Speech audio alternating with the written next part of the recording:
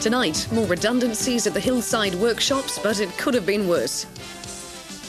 Planning begins for a big Dunedin based international film contest. And one of Invercargill's best known choir leaders to leave the stage. Good evening. Dunedin's Hillside Railway workshops have escaped the brunt of the nationwide redundancies announced today. Although nearly 500 jobs are being lost in the country's workshops, Hillside will lose only 20. Jim Moore reports. Promises over the long term future of Hillside have been kept. There'll be disappointment about the fact that 20 employees will be laid off over the next 12 months, but the feeling is that given the current economic situation, things could have been a lot worse.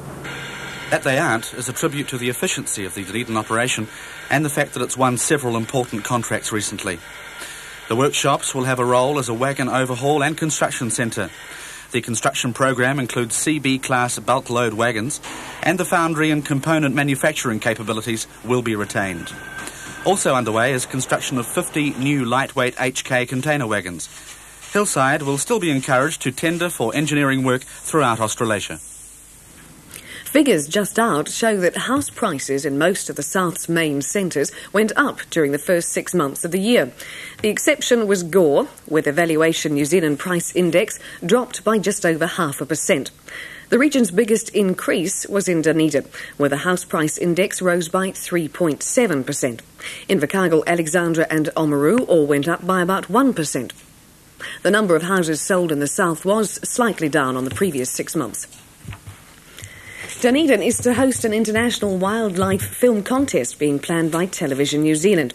It's designed to fit in with two international wildlife conferences being held in New Zealand in 1990. And organisers hope it will give the Pacific a higher profile in the wildlife film world. Lee Davies was at the planning meeting.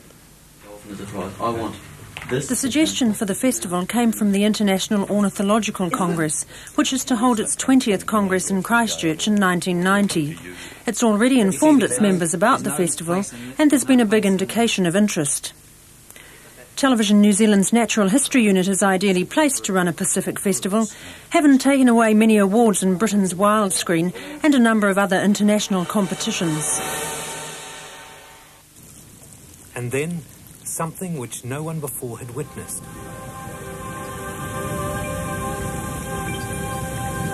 Sequences like this, the first filmed record of a crayfish spawning, recently took the Wild South documentary Tale of the Crayfish into the finals of Wildscreen to be held in Britain in October.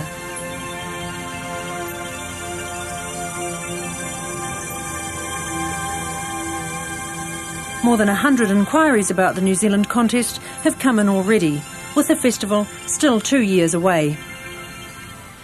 Today's annual meeting of the New Zealand Permanent Building Society was told the Society's head office will remain in Dunedin. It was pointed out that $1.7 million had recently been spent on extending and refurbishing the head office building in the city.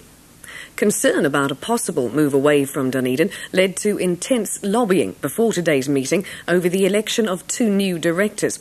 The letter writing campaign run by Dunedin's Alistair Broad proved in unsuccessful.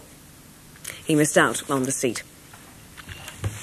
New Zealand women, wherever they live, shouldn't assume that communication breakdowns in doctor patient relationships were confined to Auckland's National Women's Hospital. That's according to journalist Sandra Coney, co author of the magazine article that prompted the inquiry into cervical cancer treatment at National Women's. Gaynor Smith talked to her in Dunedin today. It's less than a fortnight since the report of the cervical cancer inquiry came out. Now, Sandra Coney's book, The Unfortunate Experiment, tells how she and Phillida Bunkle worked through their initial journalistic investigation, plus her own version of the inquiry's progress. Her anger about the lack of information given National Women's patients hasn't abated. That showed that our suggestion, relayed from a local doctor, that because cervical cancer is relatively rare, there's a risk women may see it as a bigger threat than is warranted. I think the fact that a doctor said that to you smacks rather of the National Women's line, which reinforces my view that National Women's has had a national influence. One of the tacks they've taken is to say this isn't a very important disease. People get killed far more often by breast cancer, by road accidents, by poisoning. So, why do we spend so much time thinking about cervical cancer?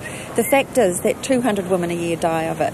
It's an awful way to die, and it's an entirely preventable disease. Now, many, many diseases, cancers, are not preventable. This is preventable by a cervical smear, picking up the early stage, which is almost 100% treatable. So I'm, I'm sad that doctors down here have got that sort of attitude about cervical cancer. The fact that breast cancer, say, is more prevalent is immaterial, she says. There's a difference in early diagnosis. Well, the significance is that the early stage of the disease can be picked up by a smear, but that the doctor in this case ignored the smears and let the woman continue with positive smears. Now, with breast cancer, the only way that you can pick it up is by finding a lump or by mammography. So it's not as easily detectable and it's not as easily treatable. But also during the inquiry, a study about breast cancer was raised by Dr. Gray at Wellington Hospital, where he had very, felt very concerned about the ethics and what was happening to the women, and where he had great trouble to try and get some investigation of that particular study. And that was very recent.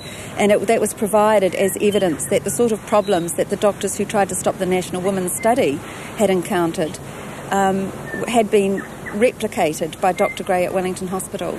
So you obviously feel that there are still many problems of communication which haven't been sorted out yet. I think that there are many problems about medical accountability, about doctors improving their attitudes towards the patients. I think there are endless problems in hospitals, and I hear about them all the time.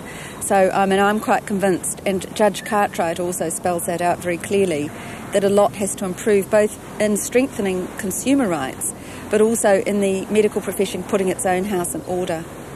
Has Sandra Coney now really become an advocate for that? Well, yes. I mean, that's what I've been working on for many years and I will continue to do so.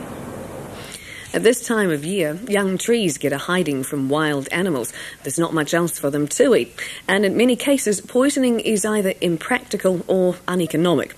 But as Rob Cope Williams reports, the Forest Research Institute in Christchurch has come up with a novel method of stopping the destruction. Young trees attract attention from many of our wild animals. Possums, rabbits, and hares are the worst. Hares nip off the tops, while rabbits and possums destroy the plant by eating most of it. Staff at the Forest Research Institute have retaliated by coming up with a recipe that can turn away even the hungriest rodent. Six eggs, 150 mils of acrylic paint, and 600 mils of, of water, pint of water, and that makes one litre of solution. So, shall I, shall I make a, a brew for you? But what's the, really the essence to this recipe is that I must beat it very thoroughly first because I've got to apply this through an exit sprayer. And if I just whisked it up, it's just like making a, an omelette, then in fact it won't go through my sprayer. So what I must now do is give this a thorough beating. You're not really serious about this. You're not. Yeah. This isn't really going to be used to, to, to, keep animals away. Well, we've tested this solution along with um, a, number of other solutions that we can show you on four and a half thousand trees, and we've been finding extremely good results. There's enough brew here to treat 50 trees. The mixture's sprayed on at a cost of 7 cents a plant.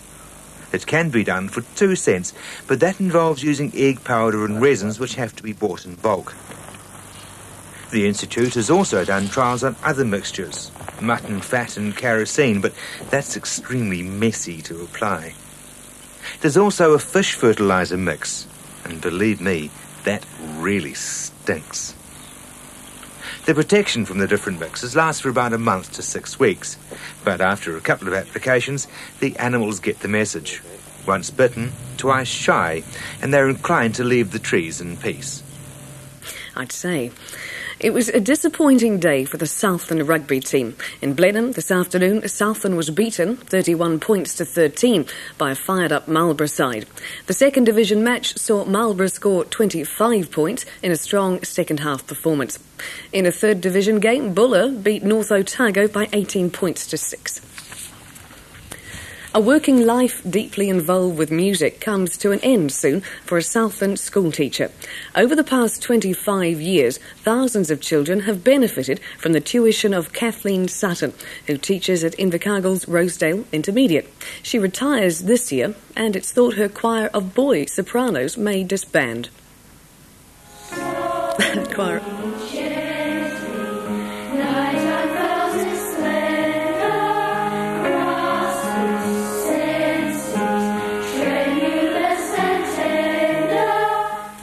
Cathleen Sutton's had a lot of success polishing the raw talent found in an intermediate school. She specialises in developing boys' voices at the school, where she's taught since it first opened.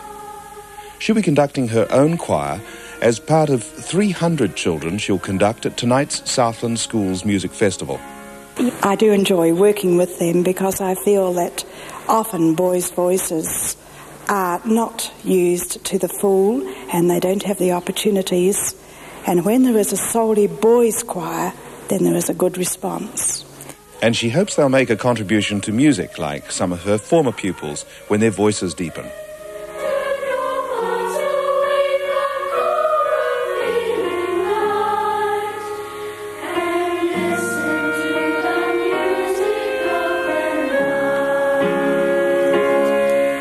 The school's principal, Paul Ferris, appreciates Cathleen's work with the boys. What's more grand than getting 40 boys who are not encouraged by their peer group to sing, to sing like they did today? And uh, I think that was wonderful. I don't think there's anything else you could do but give success to children. And that's what Cathleen's done.